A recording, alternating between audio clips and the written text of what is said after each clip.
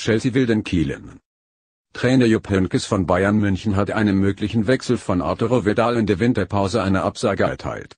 Der Kielerne wird angeblich vom englischen Meister FC Chelsea umworben.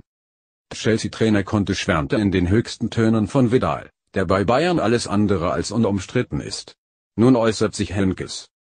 Trainer Jupp Heynckes von Bayern München hat einem möglichen Wechsel von Arturo Vidal zumindest in der Winterpause eine Absage erteilt.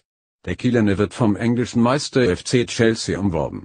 Heynckes betonte im Trainingslager der Münchner in Doha-Katar, es habe keinen Kontakt zwischen beiden Clubs gegeben, abgesehen davon werde der deutsche Rekordmeister weder Arturo Vidal noch einen anderen Spieler bis zum Ende der Transferfrist am 31. Januar abgeben. Chelsea soll allerdings auch Interesse an einer Verpflichtung zur neuen Saison bekundet haben. Trainer Antonio Conte ist auf der Suche nach einem Mittelfeldchef. Er sagte zuletzt, Arturo ist ein fantastischer Spieler, vor dem ich größten Respekt habe. Ich kenne ihn sehr gut, wir haben viele Jahre zusammen bei Juventus verbracht. Wenn ich in den Krieg ziehen müsste, würde ich immer Arturo an meiner Seite haben wollen.